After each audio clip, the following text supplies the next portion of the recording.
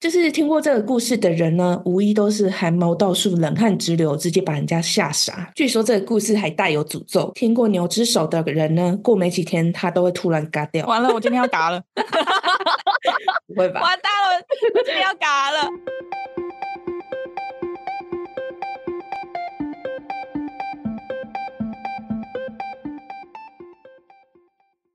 Hello，我是嘎嘎。还有，我是米江，宇宙妞妞报。嘿，我今天要来讲鬼故事啊！所以你你现在都不用讲说你是宇宙播报员了，是吧？哦，对哦，要哈，我忘记了，我是这集的宇宙播报员嘎嘎。因为我刚刚想说我都记得了，我不用看字幕，结果我就忘了。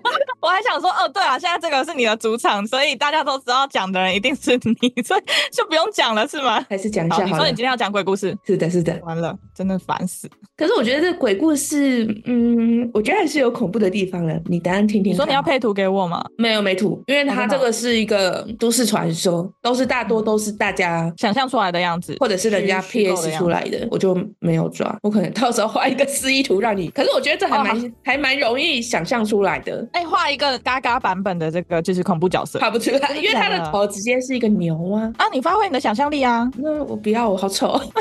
烦。我开头还是先来一个温馨小提醒好了。嗯本集内容含有暴力、血腥、死亡等相关议题，可能会造成你的不舒服，请小星星们斟酌收听哦。也千万不要模仿故事内容里面的手作行为，手作行为，就是里面的行为，我觉得还蛮恐怖的。好，我来听一下。那会想讲牛之手，是因为我看过一个电影，就叫《牛手村》，哎，好像听过，它是日本导演拍的，但是我没有看完，我好像只看了片头没多久，我就看不下去了，因为。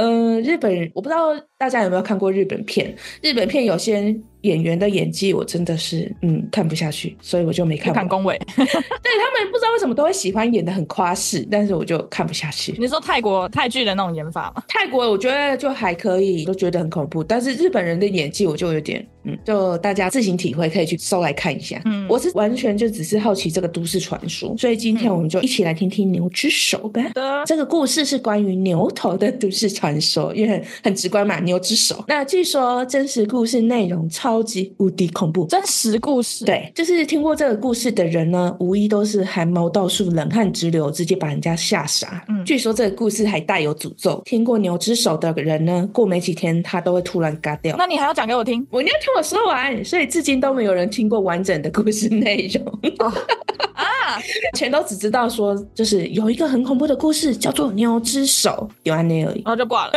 不是，就是大家都只听过这一句话，然后但是实际故事内容是怎样都不知道，完了，我今天要嘎了，不会吧？完蛋了，我今天要嘎了。我都没嘎，你怎么会嘎？我都已经打完稿，你把故事看完。看完，好了，那不过牛之手的起源，大多认为是来自日本小说家小松左京在一九六五年所写的同名短篇小说。嗯但实际小说内容里面并没有提到牛之手原本的故事，最多就是写主角到处在找牛之手这个故事，就是用尽办法还是没有办法得知故事内容的全貌。因为只要当他找到一个有线索的人，然后要跟他讲故事的时候，那个人不是进音乐就是嘎掉，所以这个小说也写的蛮厉害，所以才会让人家更觉得哇，这牛之手到底是什么样的一个故事？但传闻中真正牛之手的故事是在明治时代，大约是在一八六八年的时候有出版过，但因为内容太过恐怖，很多人看了受不了刺激，直接发疯，甚至还有人因此死亡，所以在那个时候造成社会混乱，所以日本政府就把这些书列为禁书，甚至是把书焚毁。好好奇哦。对，越禁忌大家就越爱。所以现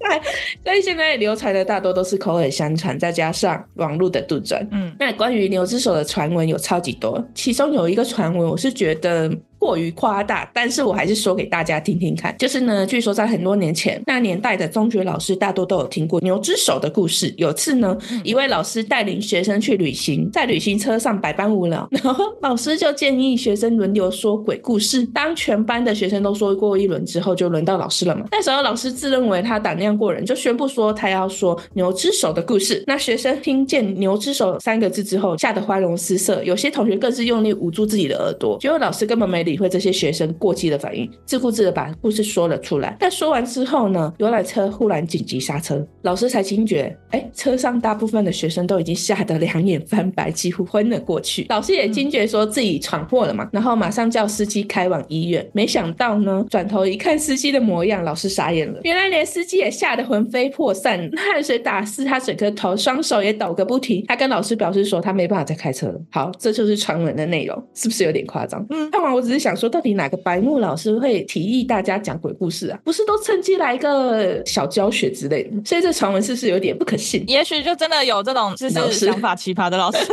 哦哎、我觉得说不定是我的话，我会。啊，真假的？你不可能啊！你怎么会到叫大家讲鬼故事呢？而且就如果真的很无聊，也想不到事情怎么怎么做的话，然后就是想着，嗯，不然大家讲讲鬼故事也可以啊。好吧，好，那那就算了。你可以给你比个赞。好，那但既然都没有人知道牛之手的真实故事内容，你也知道网络上很多超强写手写了一堆制成是牛之手的真实故事的故事，那我就整理了三个，然后不知道哪个带有诅咒，大家一起来听一下。好可怕、啊！没有啦，你现在还活着，应该是这三个都是假的哎、可是他说过几天突然嘎掉，哦。我也不知道啦，没有那么夸张吧？好啊，第一个，在某个寒冷的冬天，一个小村子里面，男人的女儿得了重病，他必须要到离家有三里远的地方买药。没想到回来的途中，雪越下越大，把整片大地都堆满了雪。走着走着，突然间，在他面前的小路上有一块黑色的东西，靠近点发现，那居然是一只牛的头。它没有身体，但它的眼睛却还能活动。他直接下翻在地上，紧张的闭着眼睛狂念阿弥陀佛。不知道过了多久，再次睁开眼后，他发现牛头居然消失不见了。然后原本牛头的所在的地方呢，莫名出现了一个梳妆台。他认出这是他女儿的梳妆台，因为就连镜子上的裂痕也一模一样。嗯他仔细一看呢，看到镜子中出现了他的女儿，在镜中里的女儿呢，她看起来非常健康，没有生病，而且此时此刻她正在梳理着头发。不过认真一看，他发现女儿的脸上有许多的黑色小斑点，然后从斑点里面流出黑色的血。男人不等心再看，于是闭上眼睛，等到天亮。天亮后，他匆匆赶回家，没想到女儿早就已经气绝身亡了。好，这是这个故事。哦，就是牛头的诅咒是吧？我也不知道，嗯，但是这个故事告诉我们，你早点回家给女儿药吃，不就什么事都没有了吗？哦，但是他怕到不敢走啊，他觉得眼前一切都是幻觉。你看牛头又消失不见，然后又冒出梳妆台，冒出他女儿，就吓到不敢走，是不是？在眼前全是幻觉的情况下，你会不知道你自己走的是不是正道吧？他不跑回家是真的很傻，傻的可怕。正常遇到可怕的事情，第一个反应不是是跑，难道不是吗？是没错，还是有些人会吓到腿软，然后就瘫坐在原地。哦，也有可能哈。好吧，嗯你帮他解释，我还在想说这个人怎么傻的可怕。没有，那是因为你不会害怕。哦，好吧。但是我觉得莫名出现的梳妆台确实有点可怕，就很奇怪对。啊，我觉得出现梳妆台比出现那个眼睛会动的牛头还可怕。嗯，对啊，而且他还出现他的女儿，是在暗示着他女儿生命正在流逝吗？还是什么？有可能哎、很神奇的一个故事，应该没有可怕到人汗直流吧？没有，哎、没有哎、好所以这个不是有带有假的假的，假的。好，那第二个呢？从前有两个村子，这边就用 A 村跟 B 村来代称。两个村子里呢，中间只隔了一道河。嗯某天早晨呢，人们在 A 村发现了一具没有头的牛尸体。他们发现切口呈锯齿状，跟被野兽撕咬的状况完全不同，比较像是被人家拿钝刀反复的切割过。嗯嗯，村民们认为这头牛的尸体令人毛骨悚然，决定将尸体焚毁。没想到呢，牛的屠杀没有就此结束，因为紧接着又陆续发现同样的尸体好几具，A 村的人就怀疑说是 B 村人干的。同时呢、b 村最近也发生了一件年轻女子失踪的事件，一直受到 A 村骚扰的 B 村呢，就认为说这件事情肯定是 A 村干，因此呢。两村的矛盾越来越深，可以说是更加的互相猜疑憎恨。一天晚上呢，因为一连串的事故，两村村民都抱着高度的警惕。B 村的几个人呢，就守在连接两个村的桥上。他们看到从 A 村方向走来一个人影，靠近后才发现，那个居然是一个全身赤裸的一个人，但他却戴着牛的头，嗯就是他却有着牛的头。这个人呢，看到他们后，马上转身往森林逃跑。却被对岸的 A 村人发现踪迹，而两方的村民呢都认为这个人肯定是这一系列事件的罪魁祸首，于是他们就在森林里搜寻，想要抓住这个牛头人。但 B 村人无功而返。之后 A 村人也表示没有发现这个人的踪迹，但是呢，A 村人是在说谎。他们其实抓到了这个牛头人，因为这个人是他们 A 村村长患有精神疾病的儿子。这些事全部都是他做的。那个女人也是他绑架，他把女人的头砍下来，然后换上换成牛头。对，换成牛头，然后再与这个女人做了些羞羞的事情。嗯东窗事发之后呢，A 村的村长帮着儿子毁尸灭迹，然后使用超能力，让村民以及警察不再追究此事。还有超能力，超能力，这种哦超能力，哦钞票哦，钞票。嗯，是的。我还想说，什么东西神话了这个故事？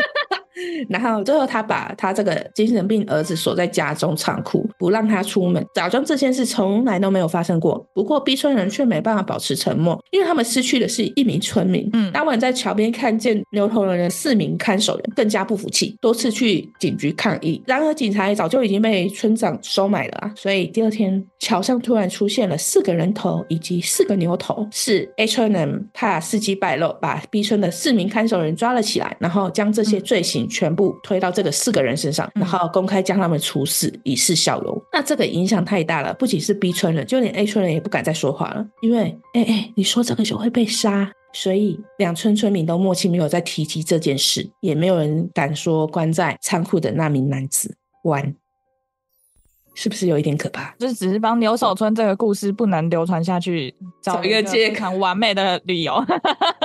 哎，这样是不是就能解释说，哎，为什么不能流传？因为一流传就会被嘎掉。啊，对。但是我我觉得现在的人听完不会嘎掉，是因为他们已经不复存在了吧？我觉得这些写手其实也蛮厉害的，都把这些事情合理化。不过他的儿子能长牛头也很厉害他不是长牛头，他是砍了牛头戴在自己身上。哦，把脑袋也挖空，然后戴上去。对他就是对牛头有莫名的莫名的执着。好，那我们来第三个吧。这个传闻呢，它有衍生出一个日本父母常对小孩子说的一段谚语。嗯，他们会说，如果你吃完饭就睡觉，你就会变成一头牛。对，不是猪就是牛。啊，我很常干这种事哎、我吃饱然后就会睡着哎，就是躺在沙发上然后就睡着，你那是那个什么，那个叫什么？呃，那血糖过高吗？就是饱困晕饱困嗯，就会晕碳，哦晕碳，啊，就是叫晕碳呢、嗯，就是吃太饱，然后或者是碳水化合物出太多了。出太多。好啦，原因听我娓娓道来。好，这个村的传言是，村里有牛，有吃牛供奉牛骨头的习俗。然而，肉却是来自一个裹着牛皮的村民。据说晚上第一个睡觉的人会被祭祀并吃掉。我说他们吃人肉，哦，所以吃饱饭不能马上睡觉哟。没事，我没有在那个村里面生活。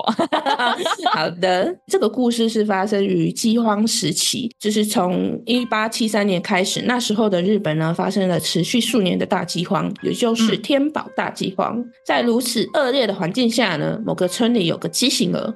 它的头部巨大，而且上方有类似角的凸起物。自古以来，非我族类其心必异，尤其是它长得这么与众不同，奇怪，嗯，太平盛世上都会招来人们的议论以及嘲讽了，更何况是这种黑暗的环境，人心更加险恶。长期吃不饱的愤怒呢，让他们将矛头纷纷转向这个牛孩子。而牛孩子的母亲呢，因为生下畸形儿，被村里人当作是与畜生通奸的不洁者。当他看着不像人的生物走向自己时，他推开了牛孩子。在被自己的母亲唾弃后呢，牛孩子在村民眼中直接成为一块会行走的肉。村民说：“我看他像个牛，弄他也只会发出牛一样的哼哼的声音。”又说：“大家都吃不饱了，不应该再把食物分给这种不是人的家伙。”于是村民们联合起来，大声吆喝着说：“杀牛了！”那熊熊的火光结合着柴火烧肉的香气，村民们今天晚上终于能饱餐一顿了。然而，这么多人分食，根本不可能吃得饱。村民们依旧饥肠辘辘。过不了几天呢，有人说隔壁村也发现了牛。这个消息一出，每个村民瞬间充满精神，拿起小火就喊着说要去帮忙。而当这些村民回来的时候呢，个个都红光满面。再过一段时间，像这种集结起来宰杀牛的群体，在附近村落迅速的蔓延开来。人们想吃肉，但看着身为人的面面孔。或者是你曾经的点头之交，他或者又是你曾经的亲朋好友，他们下不了手，于是人们就开始交换村里那种无依无靠的孩子，让他们轮番戴上牛头，假装今晚的晚餐就是一盘牛肉丸。是不是很可怕？哦，我觉得第三个是最那个毁灭人心的，对，因为在饥荒时在那个期，对，在那个环境之下。很恐怖哦我。觉得这个是最泯灭人心的。我觉得第一个就真的还好，然后第二个的话是感觉在现代也有可能发生的，嗯，就是反正你想隐瞒什么事情，你就有可能杀人。但是第三个的话，就真的是那个时代，看我怎么有这样，就是真的是那个时代才会发生的一个。事件事情，第一个就有点像传说、啊，真的像传说。然后第二、三个就有有点是好像真的会发生这件事一样。嗯嗯嗯，好，那说到这，这样的故事确实都是惊世骇俗，但也不至于让人家看到或者是听闻就吓到发疯吧。对啊对吧但是为什么会有这样的传言散播出来嘞？我看到网络上有个说法是说，与其说是鬼故事，牛之手更像是当时的乡里的纪实，也就是说，当时有人像记者一样，试着把这段悲惨的真实故事用文字记录下来。嗯但这则报道可能恰好又是批评政府官员无能的一个，嗯，或者是贪腐的一大罪证。那为了巩固政府威信，他们怎么可能让这种事迹到处流传呢？嗯所以人证大掉，然后证物烧掉。当事情处理完之后呢，再来一句。此书内容过于骇人，读过者非死即疯，列为禁书。哎，是不是完美的解释了？嗯，对，那以上是我在网络上看到的，真的没有任何一个就是读过完整书的人，然后网络上没有。然后就这都是一些小说写说在当地想要去找那种祈老啊问啊，然后就那个老的不是死掉就是疯了什么的，所以根本没有真实信息。我觉得疯掉的应该是因为他知道，如果让人家知道我我读过这本书，而且还记得的话，我就会嘎掉。我也不知道，但是就是一堆小说都是这样写，就是在问到这个事情的时候，那个人就会死，所以都没有人说出完整的故事。然后维基百科呢，他就会说这完全就是一个，嗯，那种那怎么讲？没有没有那个东西呢，叫什么？那个成语靠背哦，就是虚构的，完全是虚幻的，嗯没有这件事。就像我前面说的，就只有一句话能形容这个故事，就是无中生有。啊，对对对对对对，反正就是只能用一句话来形容这个故事，就是说我听过一个很恐怖的故事，叫做牛之手。然后就据点了，就这样，没有其他的了。反正网络上众说纷纭，就是很多人写成一些小说的形式，我觉得都蛮精彩的。如果有兴趣的话，可以去搜来看看。好了，以上三个，你觉得哪一个最最符合？我觉得最后一个，我也觉得最后一个，但是好像这也是小说，这是比较短篇的小说。但是我觉得你最后讲的那个原因会比较符合这个故事不能流传的原因。嗯，而且我想要找最后这个故事的完整内容，我找了很久、欸，就是我去翻日本网站才翻到的，但是就是嗯嗯繁体的就基本上是找不太到，就是只有说什么一个村庄会吃人什么什么，就这样，没有太多的那个详细内容。确实是吃人了，就是真的，就是用牛的头来安慰自己，很可怕欸、但是它的起头是一个长得像牛的畸形儿。他就是人呐、反正就是因为那个环境下黑暗的程度，真的是会让人家的人心扭曲，真的是无解。对，就是你真的肚子饿的时候，你看闺蜜都像汉堡。哎、可是我有想过说，如果今天我真的是处在那种饥荒的时期，我可能会自我了结，我不会想要去吃人呢、或者是想其他的办法。如果真的没有办法的话，真的就我觉得在那种环境下，就直接选择自我了结的人也肯定很多。但是有些人可能因为有牵挂嘛，然后有些人他是意志本来就比较强，然后有些人本来就怕死。我就是我是比较没办法理解说为什么会有人想要吃人，道德底线很薄弱。我觉得最后能够活着会想到要吃人的那些人，就已经不是像我们这些消极的人了，已经是疯子了？就是已经是疯子，意志超强，然后要不然就是有想要保护的东西。有想保护的东西，然后选择去吃弱小的人。就像今天我的儿子快要饿死了，为母则强，我就不管三七二十一，反正有肉我就要拿回来给我儿子吃，哦我不管他是人肉还是什么肉。我还以为那个情况下他会直接把儿子吃了，嗯更险恶。但是我觉得，我觉得他不会把他自己的儿子吃了，但是也许到了某一天，他的儿子会变成戴上牛头的那个人，哦，因为太虚弱了，嗯，好可怕哦。人心。我看一些鬼故事，他们都说其实鬼不可怕，人心才是最可怕的。对啊，其实人心才是最可怕的。哟，可怕怕爆！谁叫我们是那个食物链的最高端呢？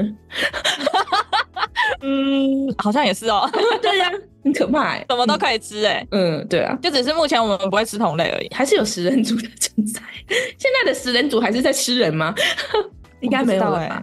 我不是说吃人吃多了会疯掉吗？哎、你觉得像会吃婴儿胎盘的那种，算不算吃会吃人肉？它那个是一个补品，叫什么？我忘记叫什么，但是胎盘是治治治什么治纸盒车、纸车盒，啊，对，是哪一个纸盒车还是纸车盒？反正就是一个补品，但是我不它其实是一个，就是算是一个中药材。但是我觉得好可怕哦。但你觉得这样算吃人肉吗？嗯，掉出来的肉好像就不太算。我觉得算了，因为它毕竟是人肉组成的，人的组织哎、嗯，然后不是以前还有一些流传说，有些人会吃那种还没满月，然后就被人堕胎出来的婴儿，有人会吃这种吗？我不知道哎。有人会吃，吃那个原因是什么？但是不是台湾，不是，我是说吃那个原因是保他们也是吗？就是还是不不是，他们也是觉得是可以保养。啊补品啊？难怪很多鬼故事都写成说，就是有要收集那种未成型的婴儿啊，或者是说未满月的婴儿啊，然后拿出来当延年益寿啊什么的，没有嗯养也没有。然后不是还有一部电影，它是那种会，就是有一个人他总是会包一种饺子，然后那个里面包的肉其实就是胎盘。啊，那么大手笔吗？那个不是很贵吗？嗯，是胎盘吗？我忘记了，我反正我忘了是胎盘还是婴儿肉，反正他就包了那个饺子，然后就有一个贵妇时常就会来这里，然后吃那个饺子。哦那个是香港的对对对，就为了永葆自己的青春容貌，然后让老公可以留在她身边。你居然敢看这个片？我都是看那种快速介绍，哦，震惊我一万年！我想说你看过呢。还有人肉叉烧包嘞，拜托。人肉叉烧包我好像也有看过，但是你刚刚说那个饺子，我有看过完整的，但是很久很久以前的片子嘞。对，那是很久以前的片子，